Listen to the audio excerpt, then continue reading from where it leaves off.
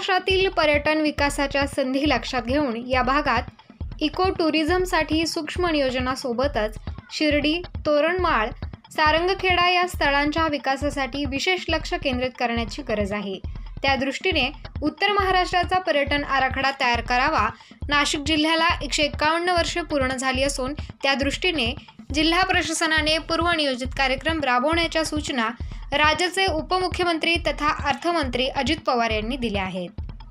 नाशिक येथे M T D सीच्या grape city resort येथे उत्तर महाराष्ट्र व नाशिक जिल्ह्यातील पर्यटनविषयक झालेल्या आढावा बैठकीत उपमुख्यमंत्री अजित पवार बोलत होते.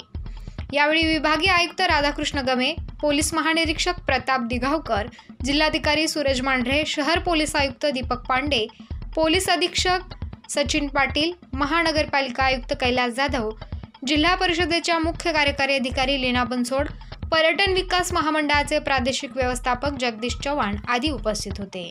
यावेळी पुढे बोलताना उपमुख्यमंत्री पवार म्हणाले की नाशिक जिल्ह्यास एकशे पन्नास वर्षे पूर्ण होऊन जिल्ह्याने एकशे एक्कावन्नव्या वर्षात पदार्पण केले आहे.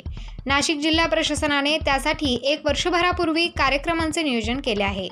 कोरोनामुळे त्या कार्यक्रमांना थोडे बाजूला ठेवावे लागले. येणाऱ्या काळात हे कार्यक्रम पूर्णत्वास नेण्याच्या सूचनाही यावेळी उपमुख्यमंत्री पवार यांनी केल्या आहेत.